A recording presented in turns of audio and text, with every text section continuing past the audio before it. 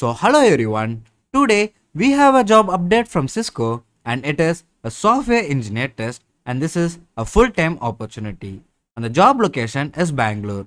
Now let's see what is the qualification required for this role.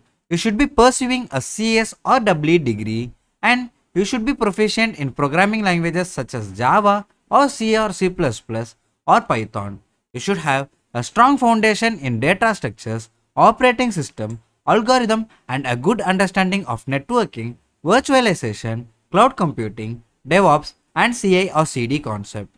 You must be a proven performer and a team player who enjoys challenging assignments in a high energy, fast growing and a startup workplace.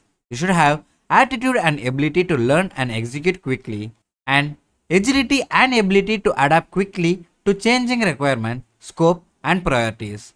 And you should have the ability to collaborate effectively in a team and solve complex problem and build scalable and high performance software.